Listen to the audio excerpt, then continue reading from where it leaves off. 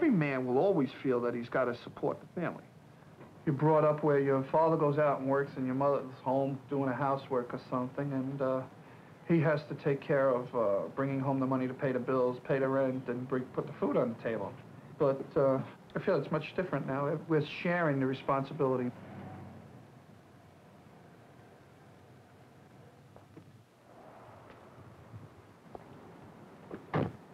Drive for a limousine company, uh, Fugazi Continental.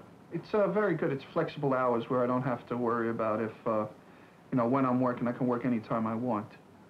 And every morning I try to get in by about 4, 4.30 in the morning or so. There's certain days that I come home and I watch Shannon uh, during the afternoon. And then at night, I usually fix supper. And then uh, I go back to work. Why, I'm so sleepy. Yep. We woke up late again today. I know, we've gotta get to bed earlier, Shannon.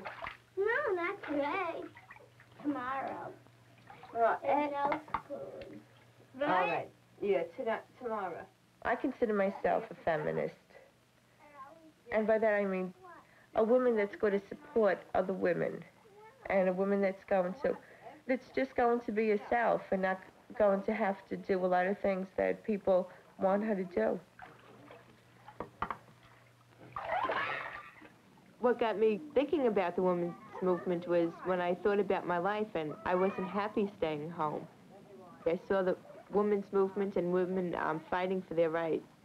And when I heard that you didn't have to act, in quotes, feminine all the time or passive, and when I started acting a little bit assertive and more confident, I felt a lot happier. Huh? Yeah. We go when we'll rest, me and you? Wait for Daddy? Yeah. My sister and I are pretty close to our mother. The three of us get together a lot and talk about the women's movement and share experiences. After I worked a while, I found I wasn't so dependent on Daddy like I had been.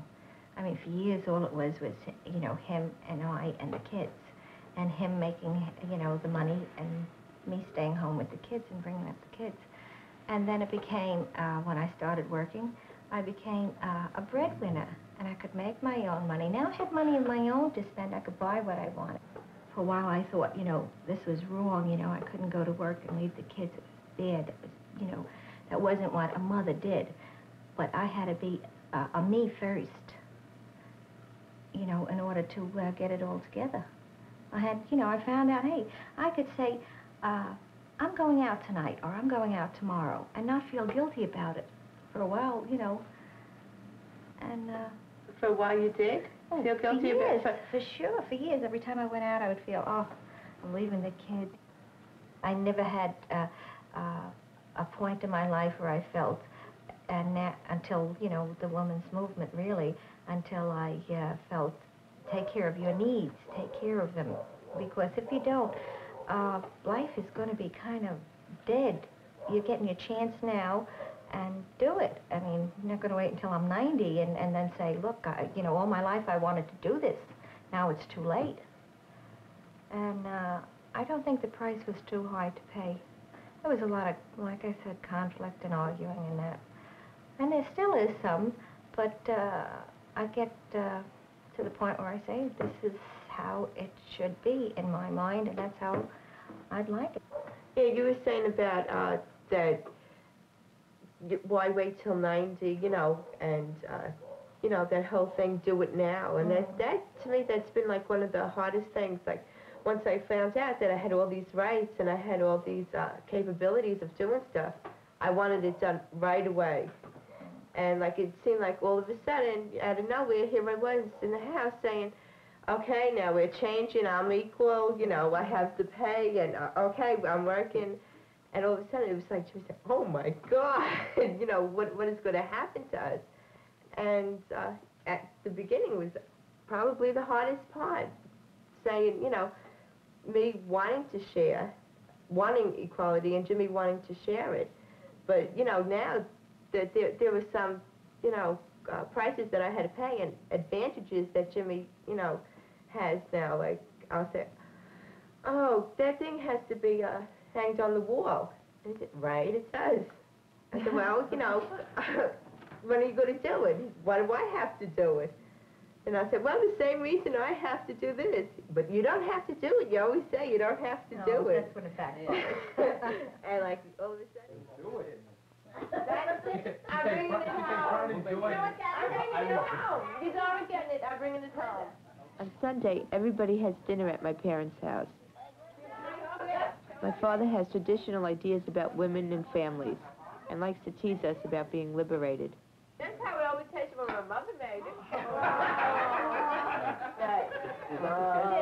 Did you keep the words to that uh, music? I have the whole thing. Oh. I tell you, uh, you want to say? we had we Shirley want Chisholm, we had Oh, Bella very thank you. Abzug, and, uh... That was, the- that was the one we didn't let you go to. Who was Wasn't the it? He didn't go to that. We, we wouldn't let You him didn't have go. no nice, They're doing quiet a recent house. homemakers, wives that take care of their Who? children and stay at home. You didn't have none of that. Who was that? You had the loud mouth communist. say, you Right. oh no, oh no, you had, you had all the women that used to cater to their husbands, you know those? Oh, kids, I mean, Yeah. kids. Oh, whoever catered. That used to. They forgot the American way of life. No, they smartened Huh? up. They smartened up, right. Remember, God wanted them all equal, it would have made all men. Oh, what we need more in this house is women's power. With liberation, there are responsibilities. I want to be independent, to take care of myself. To me, that means half of the financial responsibilities in our marriage are mine. I don't want Jimmy to have to take some job he doesn't like just to support me. But the question I'm raising is, can I be a good mother and also work? I think in order to be a good mother, you have to have your own life.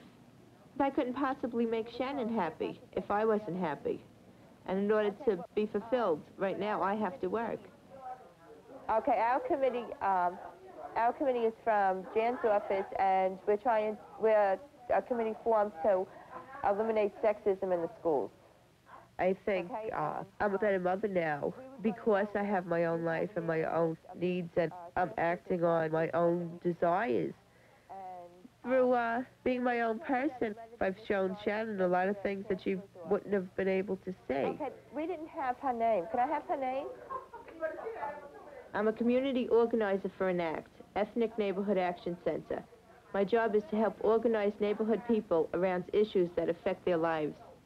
You know, on the other hand, we're also trying to really build a very strong committee that's going to work toward the elimination of sexism in schools. It just happens to be that the slate is all women, so there's, there's a hook in. You know, and that one of the things that slate will say is that women have, there is no women right now on the local school board. There was only one woman in the last, what, 10 years that's been on the local school board? And that's outrageous, and it's sex discrimination. I think me working has really helped me define who I am because I've seen who I am by how I react to different issues that come up.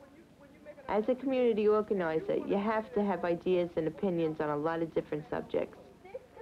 It's also dealing with all the issues that are going to be our Right. issues as candidates. Yes.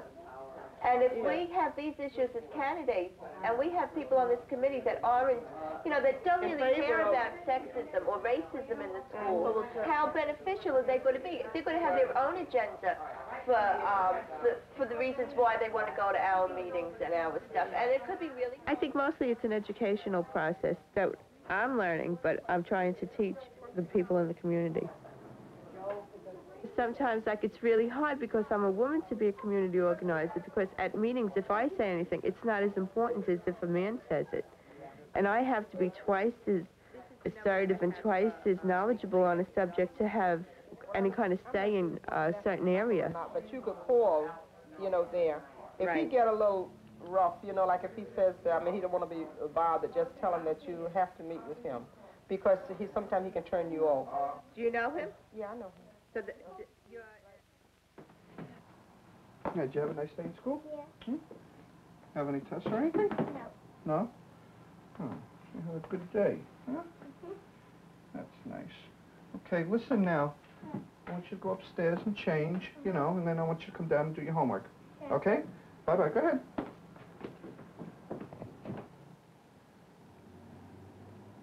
Since Linda's gotten into the women's movement, I say past year or so, we've been getting closer and closer. Our marriage and our life together has grown much more because she's become more and more independent, more and more stable in her feelings and everything, and she's learned a heck of a lot more, and I've learned. She's actually probing into me and learning more about me, and with that, I'm actually finding more about myself and more about her. I've learned more from her being in, in the women's movement, I think, than she has. The changes that have been made are all been beneficial to myself. Her homework and things like that, I learn more and more about my daughter. Look at Shannon now. Seven. It's the same things that I have to do around the house. Well, there ain't nothing wrong with that. You can learn that uh, it isn't being a sissy having to do housework or anything. It's just being a person, you know. How did you know that was seven? Plus, it's easy. That one's easy, huh? This one here you have to count. All right. Four plus three.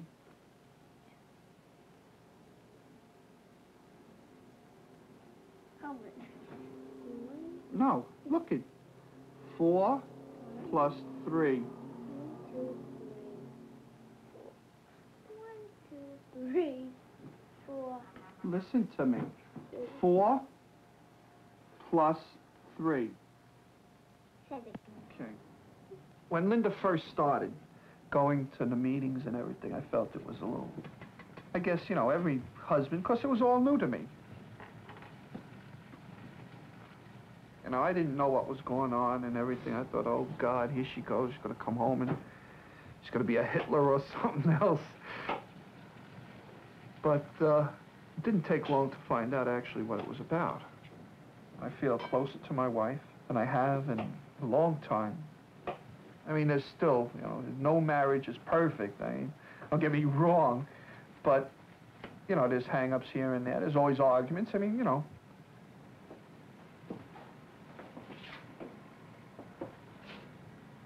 I really adore her, love her. I mean, I put her above my feelings for anyone else because that's how I feel about her. I feel much closer to her and much more at ease, and I like to be around her more than I like to be around anybody else. Hey, Shan. Oh, I missed you. What you got? What do you have? Broccoli, cauliflower, pork chops, and mashed potatoes. Get out of here. Come on. That's all. Did you want some? I forgot what you No. said. No onion. Shady, there. leave that. Mommy will cut that or Daddy will cut it. I was asked to be on the committee, and I said, I'm learning all this stuff. So you have to, Bear with you. yeah, that, you know, there's going to be questions that might seem basic. I said, but I have to ask them. After the meeting, he, he complimented that I said that, that, you know, most people don't do that. Yeah, they don't let There was a time that I needed him for just very unhealthy reasons. I needed him because I was married and I was supposed to have a husband, and because I had a, a child and they needed a father, and because I needed money.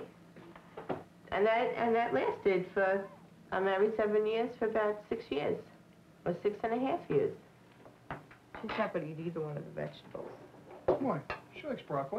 No, I don't. No, she don't.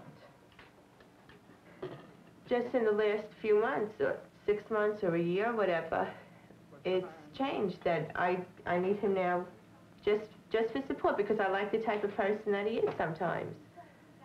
And because I saw that there was, that I, I didn't need him. I didn't, I could work myself.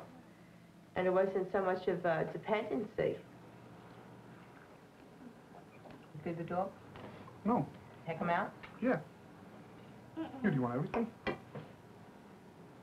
How'd you feel being kept in? I was crying in school You were crying? What? Why? because I couldn't go home. Uh, how long did you think they were going to keep you? Dopey Eileen comes in here and says they're going to keep her three or four hours. They never keep us in school. I We know. never push either. Liberation has a lot of pains and a lot of costs, and there's a lot of rewards and a lot of goodies you get with that, too. Sometimes when I think, is it worth it? Is it really worth it? I think, oh, I remember when I never thought of any of these things. I try to tell myself, yeah, you were happy then. And all of a sudden, once I say, all right, you know, Linda, you could go back. You don't have to work, and all you can do is stay home and, you know, do what everybody else does. All of a sudden, this feeling of entrapment, almost like a chains that uh, I don't think I could ever go back. What are you doing? The dishes. What are you doing? doing? Nothing at all?